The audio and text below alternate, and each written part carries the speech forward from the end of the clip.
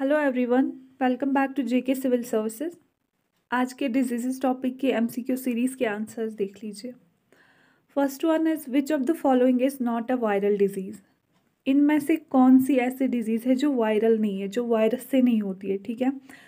सो so, कौन सी disease है? Measles जो है ये भी वायरस से होती है पोलियो भी वायरस से होती है एड्स भी वायरस से होती है लेकिन जो टेटनस डिज़ीज़ है ये किससे होती है? बैक्टीरिया से होती है। So tetanus is the correct option next one sleeping sickness sleeping sickness is a disease caused by क्या पढ़ा था हमने? स्लीपिंग सिकनेस को हम ट्रिपैनोसोमियसिस भी कहते हैं। और क्यों कहते हैं? क्योंकि ये किससे होती है?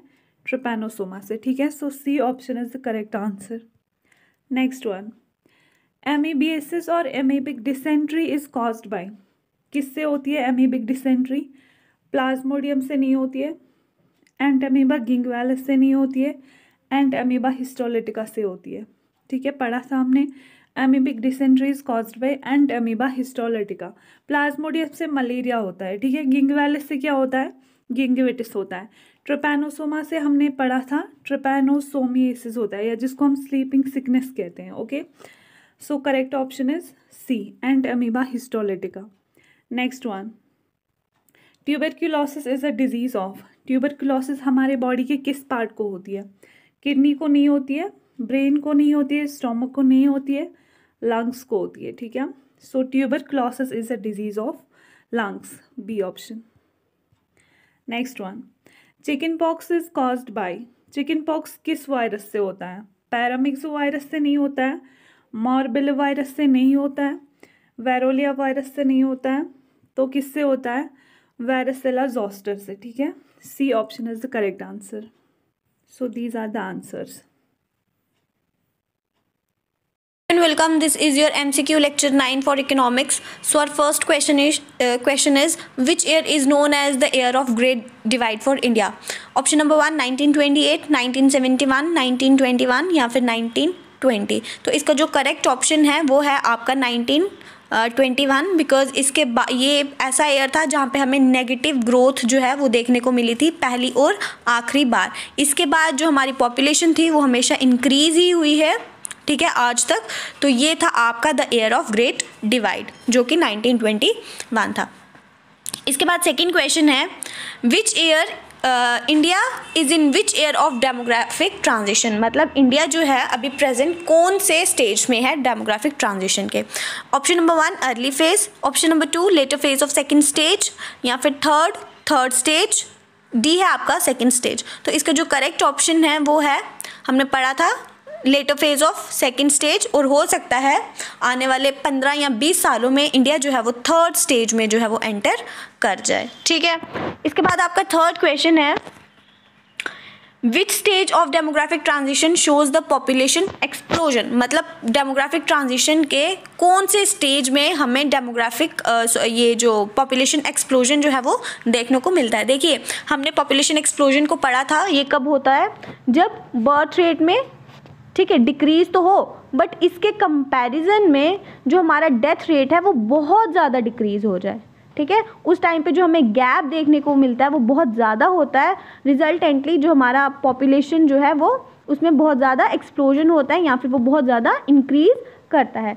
तो ये कौन सी स्टेज में देखा था हमने? Second stage third stage first stage या फिर नो स्टेज तो ये हमारा होता है इन द सेकेंड स्टेज ठीक है? इसके बाद फोर्थ क्वेश्चन है आपका in which year India entered in second stage मतलब इंडिया ने फ़र्स्ट स्टेज को किस uh, में क्रॉस किया है और सेकेंड स्टेज में एंटर किया है?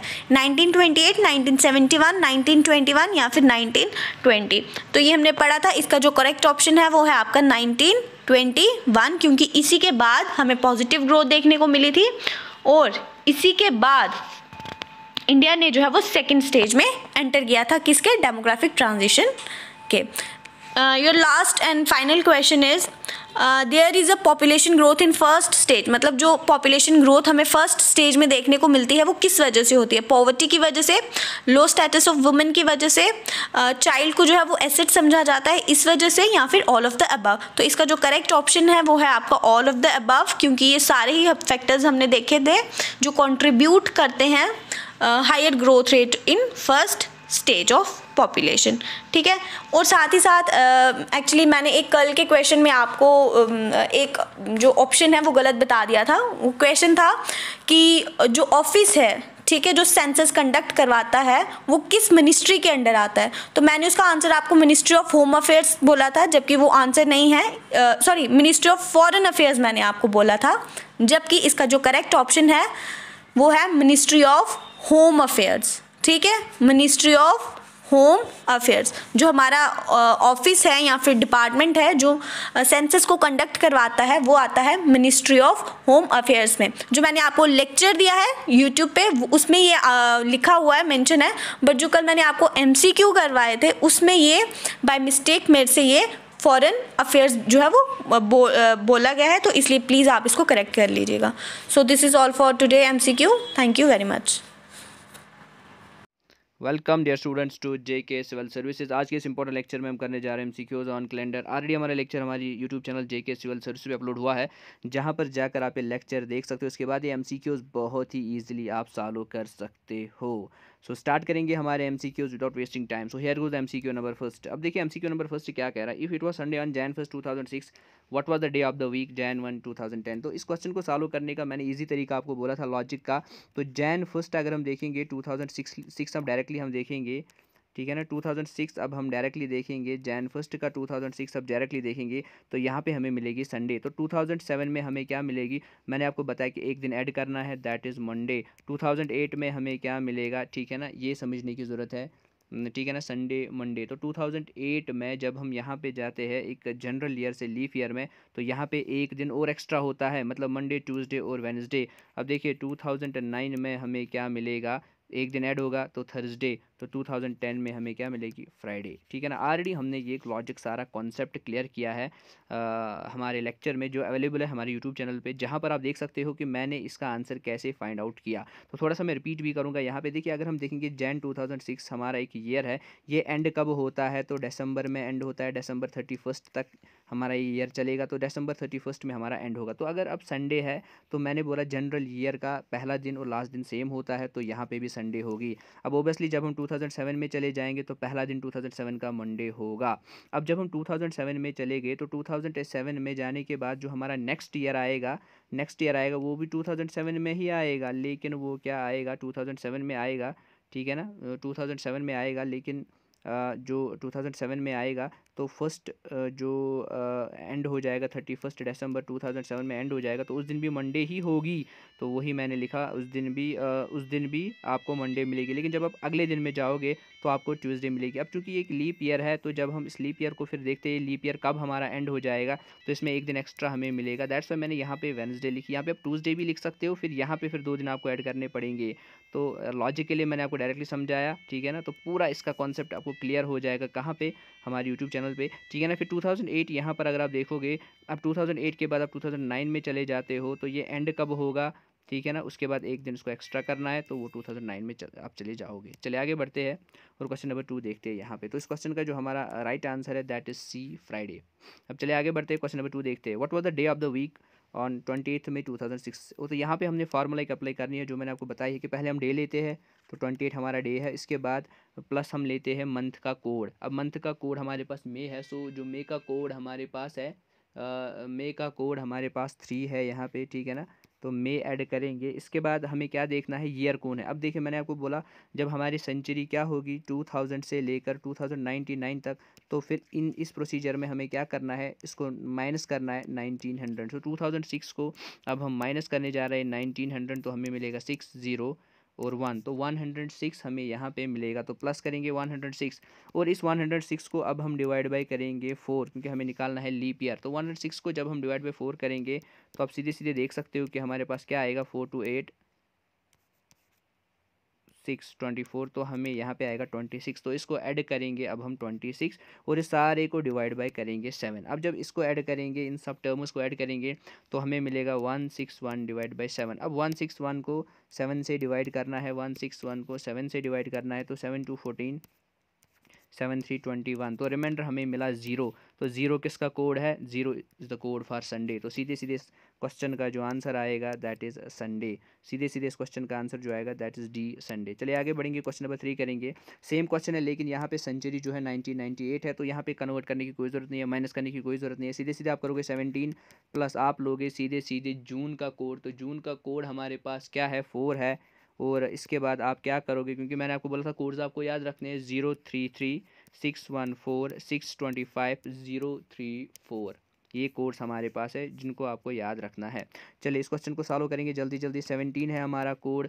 इसके बाद अगर हम देखेंगे सेवनटीन हमारे पास है और इसके बाद अगर हम देखेंगे जून का हमारे पास जो कोड है दैट इज़ फोर एंड इसके बाद हम लेंगे सीधे सीधे ठीक है ना? डेट मंथ और ईयर नाइन्टी एट और इसको प्लस क्या करेंगे? नाइन्टी एट को डिवाइड बाई करेंगे फोर जो हमें करना है, नाइन्टी एट को फोर से डिवाइड करना है हमने, ठीक है ना? नाइन्टी एट को जब फोर से डिवाइड करेंगे तो four two eight, four four four sixteen, ठीक है ना? तो हमें मिला ट्वेंटी फोर, यहाँ पर तो इसको ट्वेंटी फोर प्लस करेंगे, डिवाइड बाई सेवन करेंगे।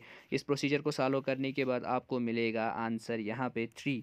तो थ्री किसका कोड है? सीधे सीधे थ्री वेंसडे का कोड है तो इसका आंसर जो आपको मिलेगा, that is question number three का जो आंसर आपको मिलेगा दैट इज़ द वेंसडे ठीक है ना? क्वेश्चन नंबर थ्री का आंसर आपको क्या मिलेगा? वेंसडे अब चले आगे बढ़ेंगे और क्वेश्चन नंबर फोर करेंगे. Today is Monday after sixty one days it will be तो बहुत ईजी क्वेश्चन है. आज मंडे सिक्सटी वन डेज़ के बाद क्या होगा? सीधे सीधे फार्मूला यूज़ करेंगे. सिक्सटी वन को सेवन से डिवाइड करेंगे तो आपको क्या मिलेगा? जब हम सिक्सटी वन को डिवाइड करेंगे सेवन से तो सेवन एट फिफ्टी सिक्स तो हमारा रिमाइंडर आएगा फाइव नीचे। मंडे को प्लस करेंगे फाइव तो हमें आंसर मिलेगा। मंडे को जब हम प्लस करेंगे फाइव तो that is Saturday Monday Tuesday Wednesday Thursday Friday and Saturday तो सीधे सीधे इस क्वेश्चन का आंसर जो आएगा that is B part option number B Saturday अब चलिए आगे बढ़ेंगे। लास्ट क्वेश्चन हमारा है, ये करेंगे। रिपीट ये क्वेश्चन हुआ है fifteen August two thousand ten के का कौन सा दिन होगा? तो इसके लिए सेम फार्मूला हमें यूज़ करनी है। फिफ्टीन करना है और इसके बाद हमें देखना है अगस्त का code that is two fifteen plus two और इसके बाद हमें देखना है two thousand nine two thousand ten को माइनस करना है नाइनटीन हंड्रेड और आपको क्या मिलेगा जब हम करेंगे? तो आप, हमें मिलेगा वन टेन वन टेन यहाँ पर ऐड करेंगे, फिर वन टेन को डिवाइड बाई करना है फोर तो हमें क्या मिलेगा? यहाँ पे ट्वेंटी सेवन इस सारे प्रोसीजर को डिवाइड बाई करेंगे सेवन जब हम ये सारा करेंगे तो हमें रिमाइंडर मिलेगा ज़ीरो ज़ीरो किसका कोड है? That is the code for Sunday तो इसका जो आंसर हमारा बनेगा that is Sunday so thank you वालेकुम आदाब and welcome back to G civil service उम्मीद है कि आप सब अच्छे से होंगे। तो आज हम डिस्कस करेंगे टॉप फाइव एमसीक्यूज फ्रॉम जो हमने पिछला जो लेक्चर हुआ गुप्ता एम्पायर और जो हर्षवर्धन उसमें हमने पढ़ा तो उसके हम एमसीक्यूज आज हम इसमें डिस्कस करेंगे। क्वेश्चन नंबर फ़र्स्ट है कि what was the who was the court poet of Harshavardhana? जो हर्षवर्धन थे, उनके कोर्ट पोइट पूछे गए हैं, कौन थे? तो ऑप्शन नंबर ए है आपके पास बहानी ऑप्शन नंबर बी है आपके पास Ravi Kirti option number C है आपके पास बान भट्ट और ऑप्शन नंबर डी है आपके पास विष्णु शर्मा। तो इसका जो करेक्ट ऑप्शन रहेगा, वो है आपके पास option number C that is Bana Bhatta Bana Bhatta जो था he was the court poet of Harshavardhana question number two है आपके पास poet Kalidasa lived in the court of जो एक पोइट कालिदास था, वो किसके कोर्ट में रहता था? तो ऑप्शन नंबर ए है आपके पास Chandragupta Maurya option number B है आपके पास समुद्रगुप्त ऑप्शन नंबर सी है आपके पास चंद्रगुप्त, विक्रम, आदित्य, और ऑप्शन नंबर डी है आपके पास हर्षा। तो इसका जो करेक्ट ऑप्शन है आपका, वह है आपके पास option number C that is Chandragupta, Vikramaditya. ये जो चंद्रगुप्त है, यहाँ से कंफ्यूज नहीं होना है आपको। चंद्रगुप्त जो है, ये है चंद्रगुप्त सेकंड वाला। और विक्रम आदित्य जो है, यो था इनका टाइटल ये आपको याद रखना, इससे कंफ्यूज नहीं होना। क्वेश्चन नंबर थ्री क्या है? कि who is was called India's Napoleon किसको कहा गया था Indian Napoleon because of his victories उसकी विक्ट्रीज की वजह से उसे कहा गया था नेपोलियन ऑफ़ इंडिया तो ऑप्शन नंबर ए है आपके पास कंदगुप्त ऑप्शन नंबर बी है आपके पास चंद्रगुप्त ऑप्शन नंबर सी है आपके पास ब्रह्मगुप्त और ऑप्शन नंबर डी है आपके पास समुद्रगुप्त। तो इसका जो करेक्ट ऑप्शन है, वो हमने गुप्ता एम्पायर में डिस्कस किया था। तो करेक्ट ऑप्शन है इसका आपके पास समुद्रगुप्त। समुद्रगुप्त को कहा गया था नेपोलियन ऑफ़ इंडिया क्यों कहा गया था? बिकॉज़ ऑफ़ हिज कंक्वेस्ट और किसने कहा था? By called by V A Smith V A Smith ने इनको कहा था नेपोलियन ऑफ़ इंडिया।